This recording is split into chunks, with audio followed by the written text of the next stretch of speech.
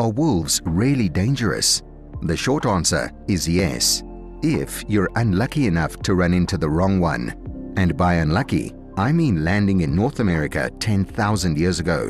While today's wolves try their best to avoid humans and mind their own business, these wolves would have not cared about that. In fact, these wolves went up against anything that stood in their way, and they grew to such sizes that at some point, even mammoths seemed like prey to them. And some of these unique wolves aren't even that old, having gone extinct in just the last century. So, let's start off with one of the recently extinct species on our list. Canis lupus floridanus was a very unique subspecies of the red wolf that inhabited regions spanning Maine and Ohio, including areas near the St. Lucie River and the Indian River Lagoon.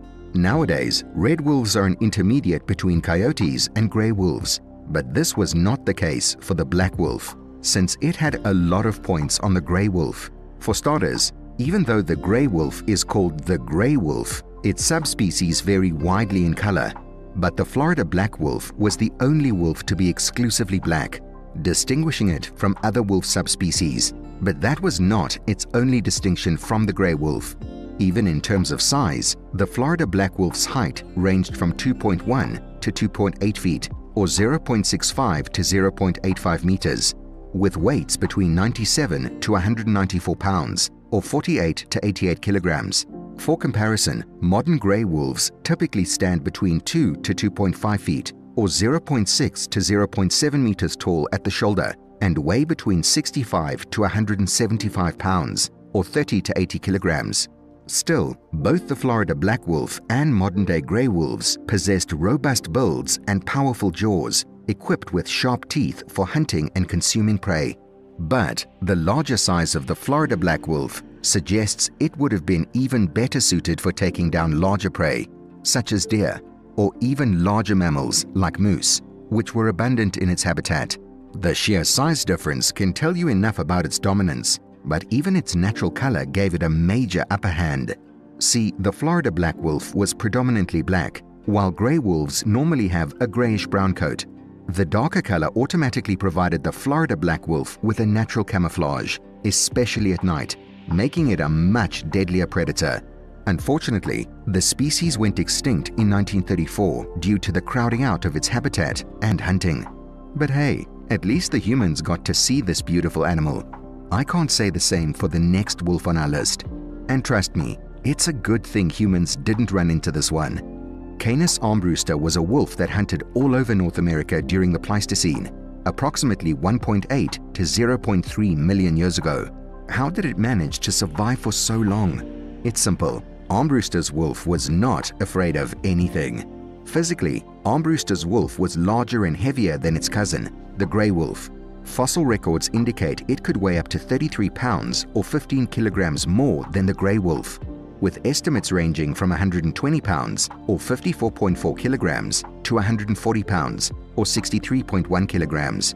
If that doesn't seem like a big difference, wait till you hear what it preyed on and it'll all become clear.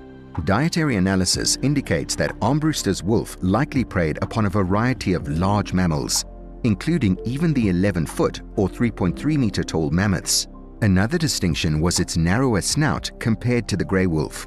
While this feature does suggest a lower bite force, at the same time, it could have facilitated more precise biting and tearing of flesh, so it would have taken it a few tries to take down a mammoth.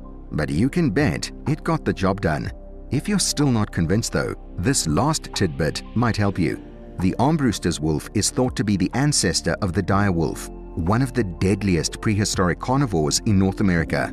We'll talk in detail about the dire wolf later on, so make sure you stay tuned till the end of the video. Coming back to Armbruster's wolf, sure, it might have been bigger than your average grey wolf, but it doesn't even come close to matching the size of Canis lupus alces is literally only known for its huge size, and is thought to be one of the largest wolf subspecies ever identified.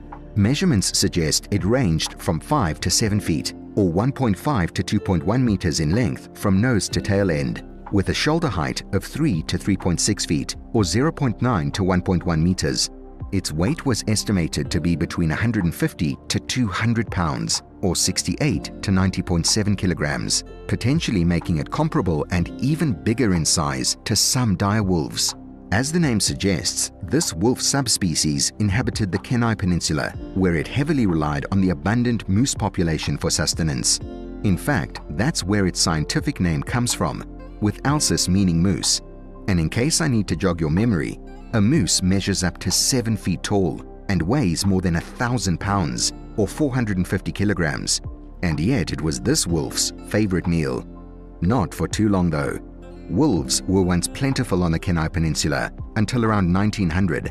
However, the discovery of gold in 1895 led to concerns among miners about rabies, prompting widespread efforts to poison, hunt, and trap these wolves. By 1915, these actions had effectively gotten rid of wolves from the entire region. As a result, the Kenai Peninsula wolf was officially declared extinct in 1925. Canis lupus bernardus was another one of the largest wolf species out there, standing about 3.9 feet or 1.2 meters tall and measuring 5.9 feet or 1.8 meters in length from the tip of its nose to the end of its tail. It weighed between 59 to 110 pounds or 27 to 50 kilograms. The sheer size alone would have helped make this wolf's life a lot easier. For one, its large size would have instilled fear in potential prey making them much less likely to resist or retaliate during an attack. Plus, larger size often goes hand in hand with greater strength, so this wolf wouldn't have had any problem bringing down larger prey animals. And considering its habitat, Bernard's wolf couldn't have asked for a better coat color. See, the Bernard's wolf was found in the Arctic islands of Canada, particularly on the Banks and Victoria Islands, and these were mostly snowy regions. Ironically, it had a thick white coat with a black stripe along the spine, which would have provided the best camouflage in snowy environments. What's more is that its skull is described as long and narrow, with a slender rostrum and extremely large upper and lower carnassials. Now let me explain it to you in English. A slender rostrum or snout means more precise targeting of specific areas of prey animals, such as vital organs or vulnerable points, while minimizing the risk of injury to the wolf itself. Similarly, extremely large carnassials indicate a strong adaptation for shearing and tearing flesh. See, carnassial teeth are specialized for slicing through tough meat and bone, so the bigger they are, the better. Not only would this have allowed the wolf to disable its prey, but also to extract the maximum nutrition from the flesh, so, which poor animals fell to the bite of this beast? The primary diet of the Bernard's wolf consisted of hooved mammals such as elk, mule deer, and white-tailed deer.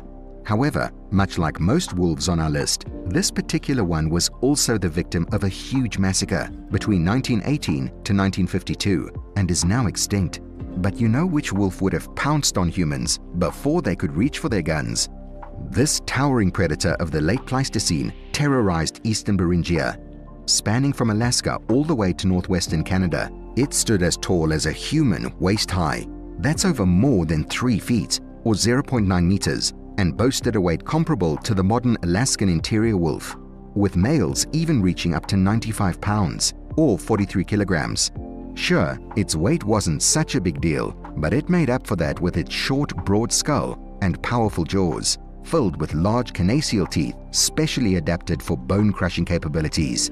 And the Beringian wolf needed these characteristics since it thrived in a very unique habitat, characterized by a vast, cold, and dry ecosystem filled with large animals like steppe bison, Yukon horse, and even the woolly mammoth. And despite their size, none of these animals could dare take on the Beringian wolf.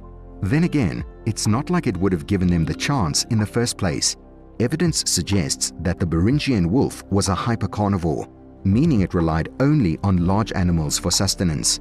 Analysis of bone collagen has indicated a diet focused on steppe bison and Yukon horse, with occasional consumption of woodland muskox and mammoth. Its longer premolars and larger carnassial teeth were no less than a butcher's knife, and they made sure that no bone was left to waste. But despite its prowess as a predator, the Beringian wolf faced challenges that led to its eventual extinction. As the last glacial period came towards an end, and all the large animal populations became endangered, the Beringian wolf's special abilities became more of a burden.